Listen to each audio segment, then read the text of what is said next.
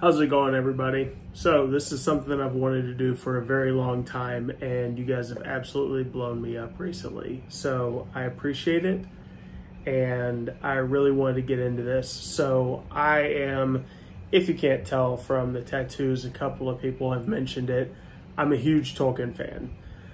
I have wanted to work my way through a lot of my favorites from Tolkien while giving homage to the great and only smoking Capstan Blue, which was supposedly Tolkien's favorite smoke. So we're going to start that today.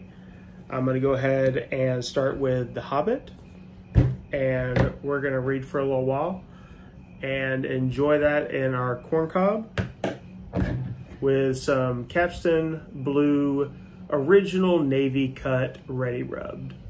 I've had this uh, out in the open and aging for probably about mm, year, year and a half now. So this should be nice and well, ooh, well aged. Just the, just that clean, fresh, straight hay smell that you expect with that capstan. Well, this is going to be an awesome start to the series. I am I am truly a huge Tolkien nerd. So this isn't going to start stop with just The Hobbit. After this, we'll move on to The Lord of the Rings. I have the Silmarillion, the uh, entire series of History of Middle Earth, and a bunch of others. So we'll work through all of them. This is something I've personally wanted to do for a while, so I'm super excited to get started to do this. So, let's pack this first bowl up here. Just feels right packing a bowl right before you start The Hobbit. For the past probably four or five years now, I've been actually reading The Hobbit, The Lord of the Rings, and for the past two years, I've been reading The Silmarillion every single year. I think this year I've already done The Hobbit, The Lord of the Rings, The Silmarillion, and I really got into the, um, what is it? Is it Tales of Numenor? It was a new one that came out, and I really, really liked it. It was good. We will circle back to that one one of my favorite stories is actually The Fall of Gondolin, if you haven't read that. So, now we got our first bowl of the Capstan Blue, nice and ready. So, let's just enjoy, take our time here.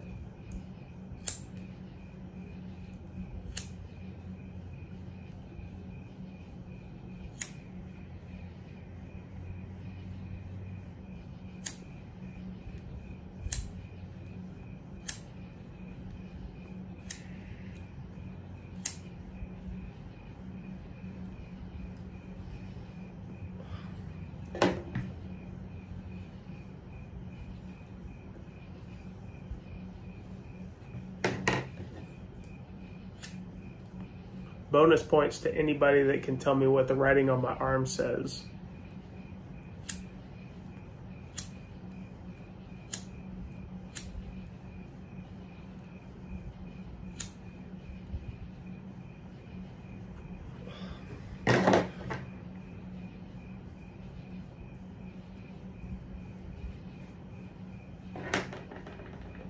All right. Now we got our pipe all set. Give me my holder here.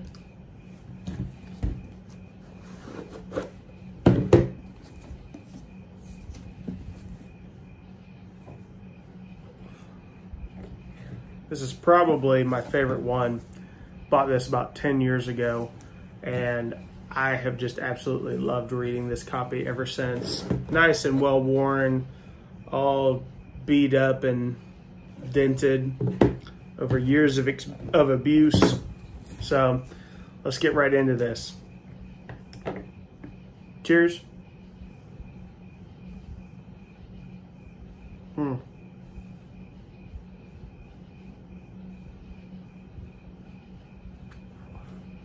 I can see why it was a favorite. This capstan is great. So don't mind me. I know I don't have the best voice, but I'm going to still read anyway. Chapter 1 An Unexpected Party. In a hole in the ground there lived a hobbit, not a nasty, dirty, wet hole filled with the ends of worms and oozy smells, nor yet a bare, dry, sandy hole with nothing in it to sit down on or eat. It was a hobbit hole, and that means comfort. It had a perfectly round door with a pothole painted green with a shiny yellow brass knob in the exact middle.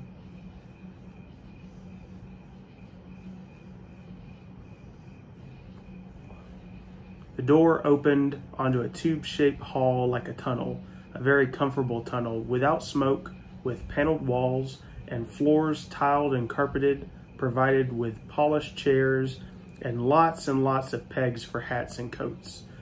The hobbit was was fond of visitors. The tunnel wound on and on, going fairly but not quite straight into the side of the hill. The hill, as all the people for many miles round called it, and many little round doors opened out of it, first on one side and then the other.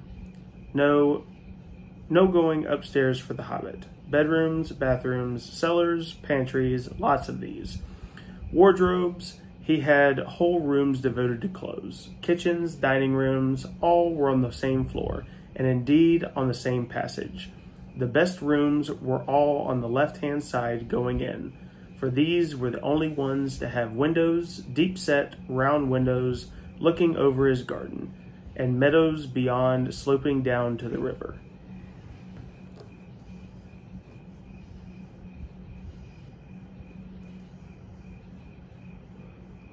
This hobbit was a very well-to-do hobbit, and his name was Baggins.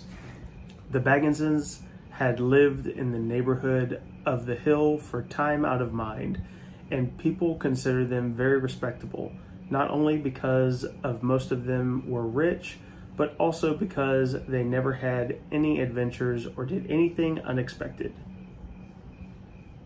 Hmm.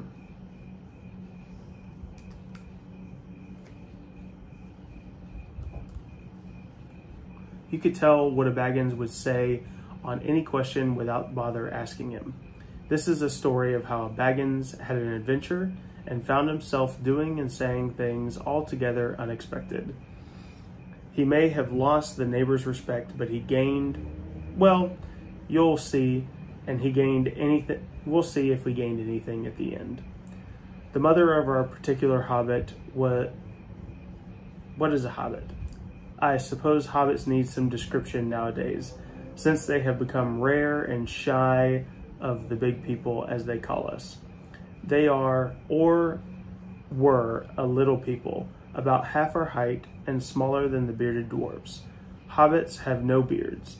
There is little or no magic about them except the extraordinary, everyday sort which helps them to disappear quietly and quickly when large, stupid folk like you and me come blumbering along making a noise like elephants, which they can hear a mile off.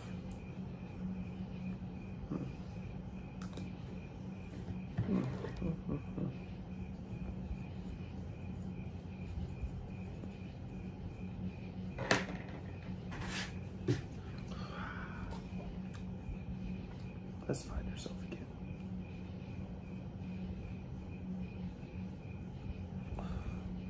They are, they are inclined to be fat in the stomach. They dress in bright colors, chiefly green and yellow, wear no shoes because their feet grow naturally leathery soles and thick warm brown hair like the stuff on their heads, which is curly, have long clever brown fingers, good-natured faces, and laugh deep fruity laughs, especially after dinner, which they have twice a day when they can have it. Now, you know enough to go on with. As I was saying, the mother of this hobbit, Bilbo Baggins, that is, was the famous Belladonna Took.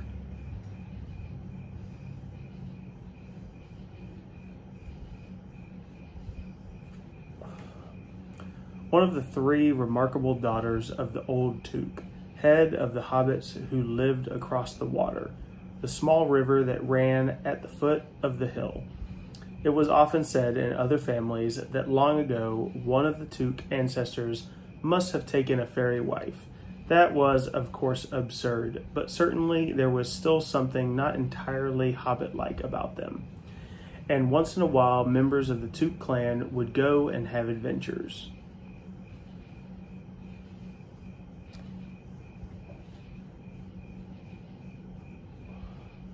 They discreetly disappeared, and the families hushed it up.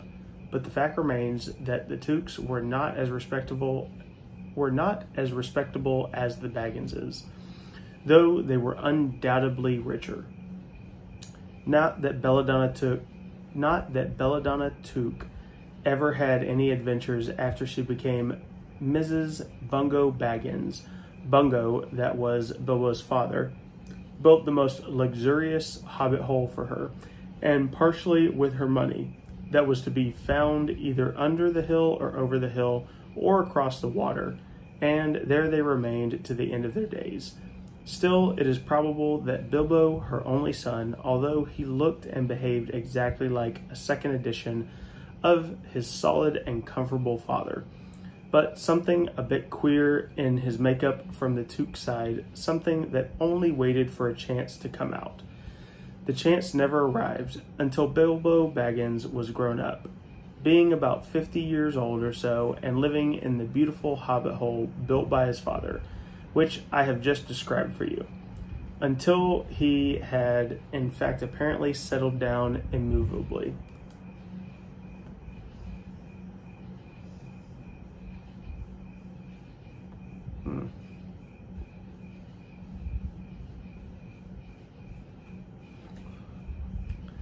By some curious chance, one morning, long ago in the quiet of the world, when there was less noise and more green, and the hobbits were still numerous and prosperous, and Bilbo Baggins was standing at his door after breakfast, smoking an enormous long wooden pipe that reached na- nearly down to his woolly toes. Oh, I think I got one of those back here. Ugh. Maybe we'll have to light this one up next time, give us a little bit of a deeper bowl.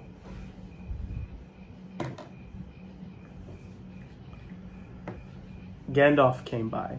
Gandalf, if you if you had heard only a quarter of what I have heard about him, and I have only heard very little of all there is to hear, you would be prepared for any sort of remarkable tale. Tales and adventures sprouted up all over the place wherever he went, in the most extraordinary fashion. He had not been down that way under the hill for ages and ages not since his friend Old Took died. In fact, the hobbits had almost forgotten what he looked like. He had been away over the hill and across the water on business of his own since they were all small hobbit boys and hobbit girls. All that is unsuspecting, all that the unsuspecting Bilbo saw that morning was an old man with a staff he had a tall, pointed blue hat, long gray cloak, a silver scarf over which his long white beard hung down below his waist, and immense black boots. Good morning, said Bilbo, and he meant it. The sun was shining and the grass was very green.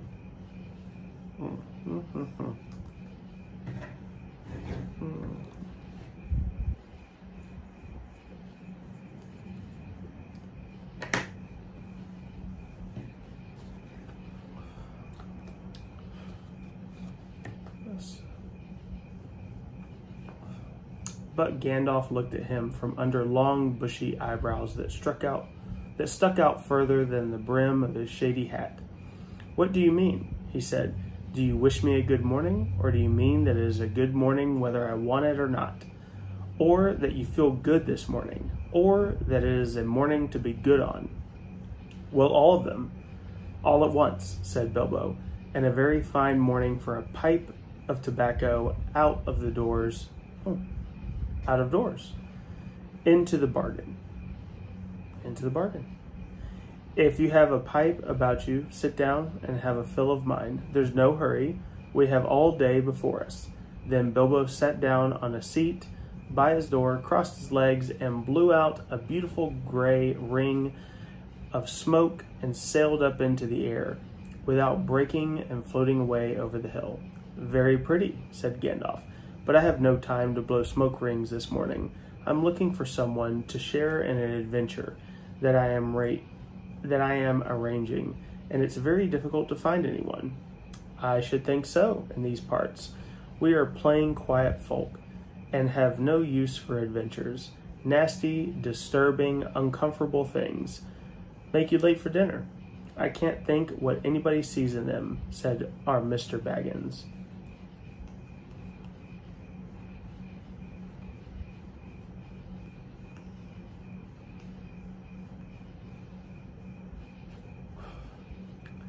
And stuck one thumb behind his braces and blew out another even bigger smoke ring. Then he took his morning letters and began to read, pretending to take no more notice of the old man. He had decided that he was not quite his sort and wanted him to go away. But the old man did not move.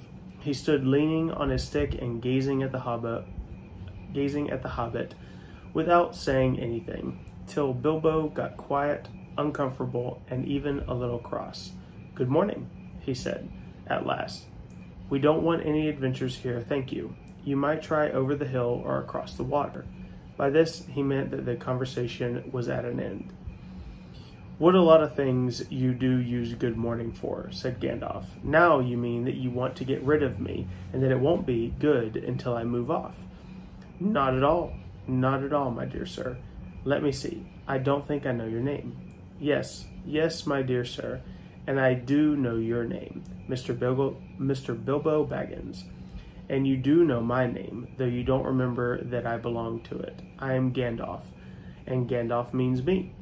To think that I should have lived to be good morninged by Belladonna Took's son, as if I was selling buttons at the door.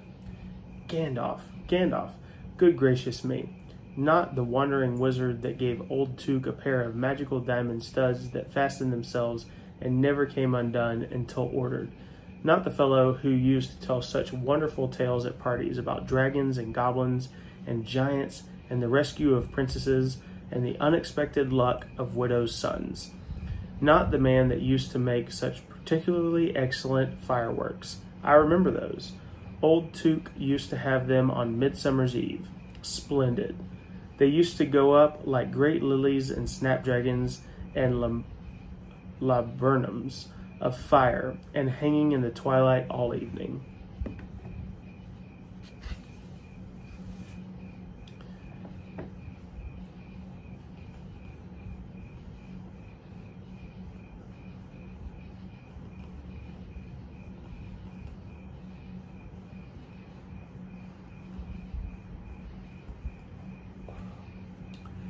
You will notice that Mr. Baggins was not quite so prosy as he liked to believe. Also, that he was very fond of flowers. Dear me, he went on, not the Gandalf who was responsible for so many quiet lads and lasses going off into the blue for mad adventures, anything from climbing trees to visiting elves, or sailing in ships, sailing to other shores. Bless me, life used to be quite inner, I mean, it used to be upset things badly in these parts once upon a time. I beg your pardon, but I had no idea you were still in business. Where else would I, would I be? said the wizard. All the same, I am pleased to find you remember something about me. You seem to remember my fireworks kindly, at any rate, and that is not without hope. Indeed, for you, for your old grandfather Took's sake, and for the sake of poor Belladonna, I will give you what you asked for. I beg your pardon? I haven't asked for anything. Yes, you have. Twice now. My pardon. I give it to you. In fact, I will go so far as to send you on this adventure. Very amusing for me, very good for you, and profitable too. Very likely if you ever get over it. Sorry, I don't want any adventures. Thank you. Not today. Good morning. But please come to tea anytime you like. Why not tomorrow? Come tomorrow. Goodbye. With this, the hobbit turned and scuttled inside his round green door and shut it as quickly as he dared, not daring to seem rude. Wizards, after all, are wizards. What on earth did I ask him to tea for? He said to himself as he went to the pantry. He had only just had breakfast, but he thought a cake or two and a drink of something would do him good after his fright. Gandalf, in the meantime, was still standing outside the door and laughing long but quietly. After a while, he stepped up and, with a spike on the end of his staff, scratched a queer sign on the hobbit's beautiful green front door. Then he strode away just about the time when Bilbo was finishing his second cake and beginning to think that he had, he had escaped adventures very well.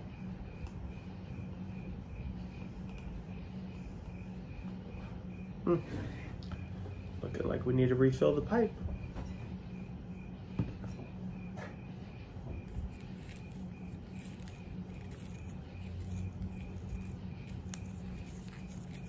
While I'm doing this, thank you guys if you guys are staying this far and reading along with me. I'm having a blast right now. Um, if you would, if you've gotten this far, just so I know who has gotten this far and actually is reading along with me. Um, let me know your favorite character. If you've read these before and you have a favorite character in The Hobbit, Lord of the Rings, anything like that, just let me know. I want to know what your favorite character is.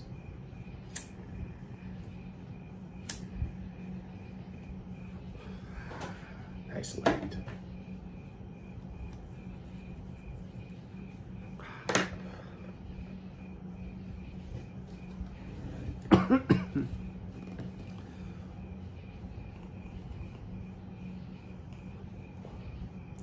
The next day, he had almost forgotten about Gandalf. He did not remember things very well, unless he put them down on his engagement tablet, like this Gandalf, Tea, Wednesday. Yesterday, he had been too flustered to do any of the thing of the kind. Just before tea time, there came a tremendous ring on the front doorbell, and then he remembered. He rushed and put on a kettle and put on another cup and a saucer and an extra cake or two and ran to the door. I'm so sorry to keep you waiting, he was going to say when he saw what it was not Gandalf at all. It was a dwarf with a blue beard tucked into a golden belt and very bright eyes under his dark green hood. As soon as the door was opened, he pushed inside just as if he had been expected. He hung his hood on the nearest peg and said, Dwalin, at your service, he said with a low bow. Bilbo Baggins, at yours, said the hobbit, too surprised to ask any questions for the moment.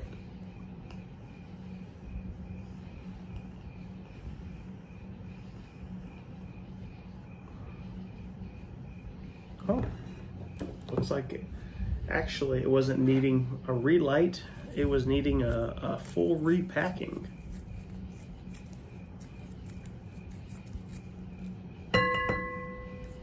Sorry, I got a little ashtray that's metal here, so.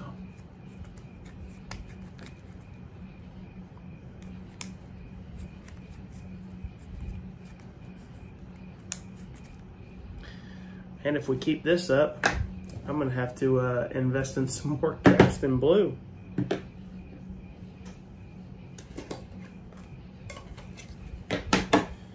And you know what? If you guys are hanging out with me this far, not only tell me who your favorite character is, please give me a comment, like, and subscribe down below.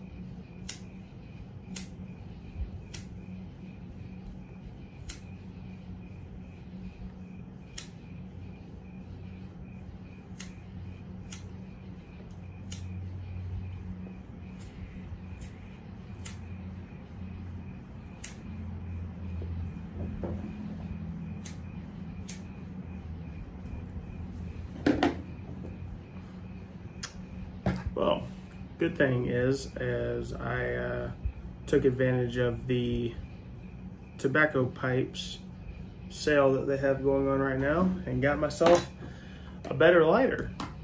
So we won't have as many technical difficulties with all these cheap gas station lighters I've been using.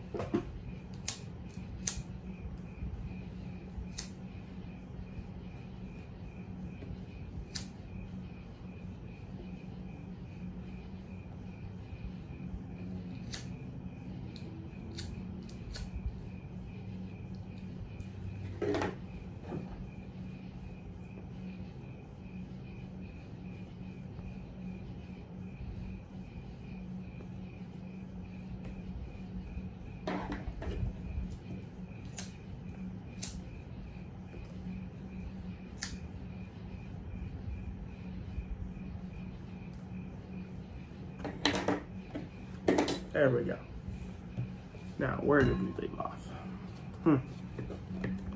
Let's see. Hmm.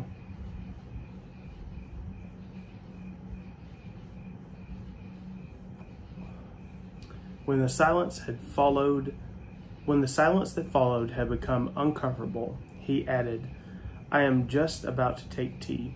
Pray come and have some with me. A little stiff, perhaps, but he meant it kindly. And what would you do if you had an uninvited dwarf came and hung his things up in your hall without a word of explanation?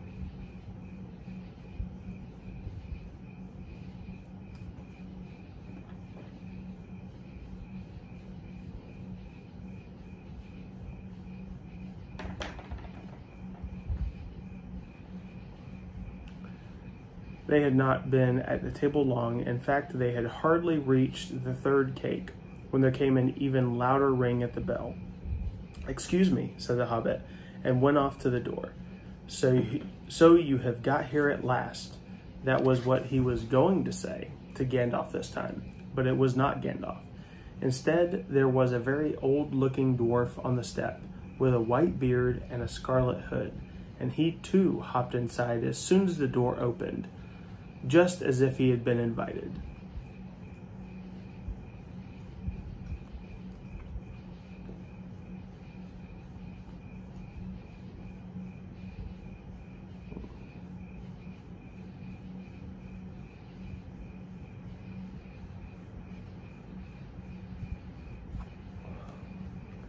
I see that you've begun to, they have begun to arrive already, he said when he caught sight of Dwalin's green hood hanging up. He hung his red one next to it, and Balin, at your service, he said, with a hand on his breast. Thank you, said Bilbo with a gasp. It was not the correct thing to say, but they have begun to arrive, had flustered him badly. He liked visitors, but he liked to know them before they arrived, and he preferred to ask them himself.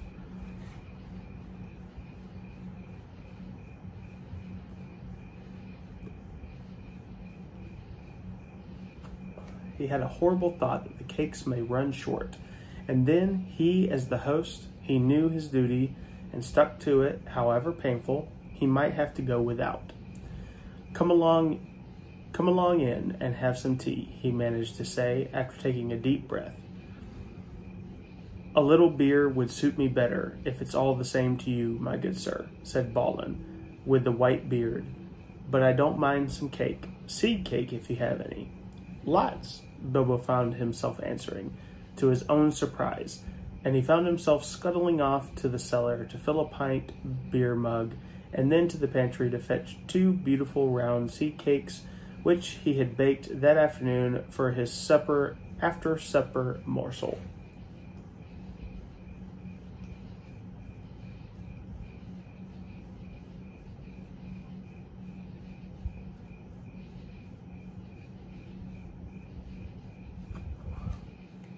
When he got back to Balin and Dwalin, when he got back, Balin and Dwalin were talking at the table like old friends. As a matter of fact, they were brothers. Bilbo plumped down the beer and cake in front of them when when loud came a ring at the bell again. and then another ring. Gandalf for certain this time, he thought as he puffed along the passage. But it was not. It was two more dwarves, both with blue hoods, silver belts, and yellow beards, and each of them carried a bag of tools and a spade. In, hop, in they hopped as soon as the door began to open. Bilbo was hardly surprised at all. What can I do for you, my dwarves? he said. Kili at your service, said the one, and Fili, added the other, and they both swept off their blue hoods and bowed. At yours and your family's, replied Bilbo, remembering his manners this time. Dwalin and Balin were here already, I see, said Kili. Let's let us join the throng. Throng? thought Mr. Baggins. I don't like the sound of that.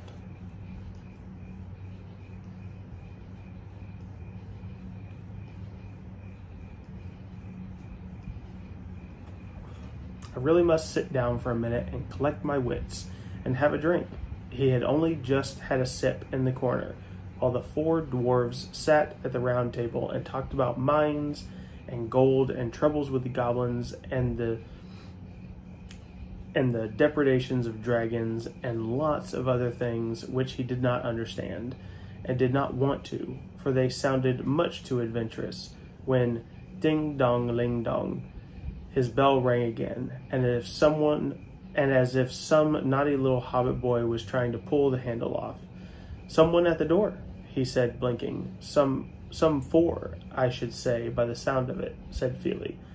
Besides, we saw them coming along behind us in the distance.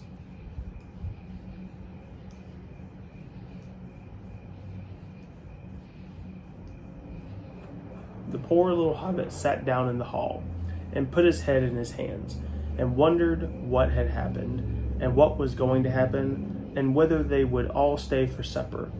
Then the bell rang, again louder than ever, and he had to run to the door. It was not it was not four after all. It was five. Another dwarf had come along while he was wandering in the hall. He had hardly turned the knob before they were all inside, bowing and saying, At your service one after another. Dori, Nori, Ori, Oin, and Gloin were their names, and very soon two purple hoods, a gray hood, a brown hood, and a white hood were hanging on the pegs, and off they marched with their broad hands struck in their gold and silver belts to join the others. Already it had almost become a throng. Some call for ale, some for porter, and one for coffee, and all of them for cakes. So the Hobbit just kept very busy for a while.